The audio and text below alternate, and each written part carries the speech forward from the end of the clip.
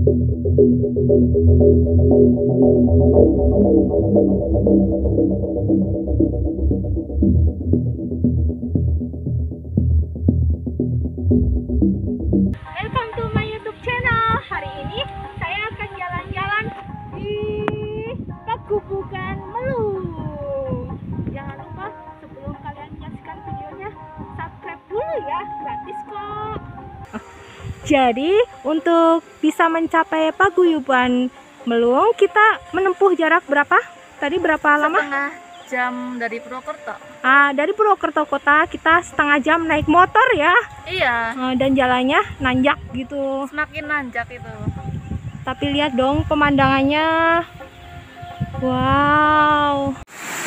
Wah, ada air terjun ini. Airnya jernih sekali. Teman-teman lihat ada tulisan Mandarin tulisan Hanse ya? Oh, bukan. Apa ini bacanya? Nggak tahu. Ini pemandangan dari atas. waduh ada kolam renangnya tuh Wah iya banyak yang berenang ya. serius deh estetik banget tuh kalau ada kolam renang di situ Wah.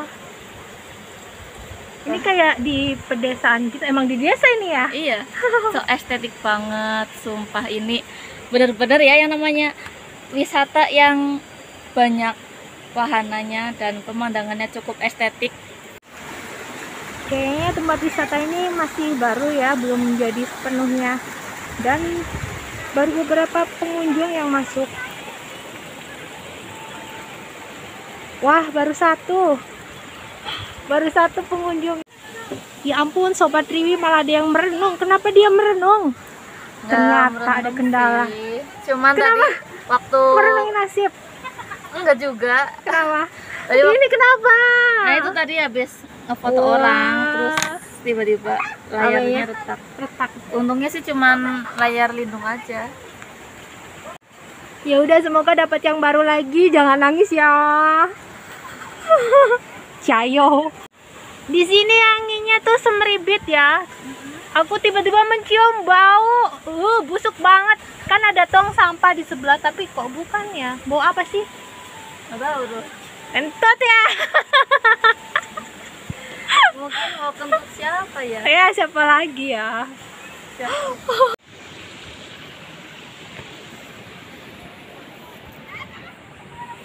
Jangan lupa cuci tangan. Wah. Ini dari atas. Waduh, ini batu zaman apa ya? Itu ada tulisannya Pegubugan Melung. Yo, kita lihat kolam renangnya. Waduh. Terjal curam. Ayo Puji, kamu pasti bisa. Sini sini. Ayo. Eh. Terbang dia. Belajar merangkak. Iya.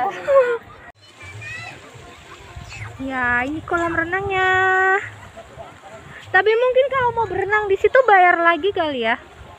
Nggak tahu tuh. Wah, banyak anak-anak kecil berenang. Nah, jadi intinya di sini tuh wisatanya semuanya alami ya. Iya benar banget. Jadi kita kayak kayak pulang kampung rasanya. Kita bisa lihat sawah-sawah, gunung. Itu belakang kayak hutan ya. Nah itu tahu hutan apa tuh.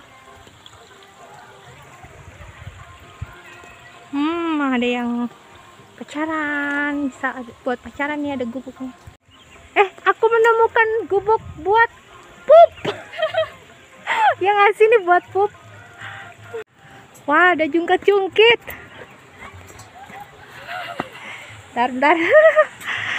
Yo, weh. Weh. Ayunan. Sambil menikmati pemandangan. Kamu di mana? Kamu di mana?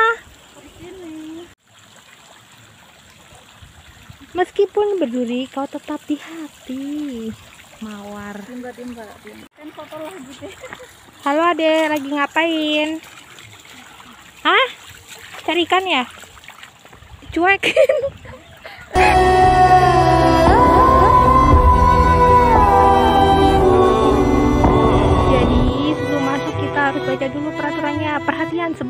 Sudah masuk ke kolam renang, pengunjung wajib membilas dulu seluruh anggota badan dengan air yang disediakan di pinggir kolam renang. Dilarang membuang ludah di dalam kolam. Iyalah, gunakan peralatan pribadi masing-masing termasuk sabun dan air gunakan masker udah tetap jaga jarak dilarang berkerumun oke mohon maaf kolam sedang dikuras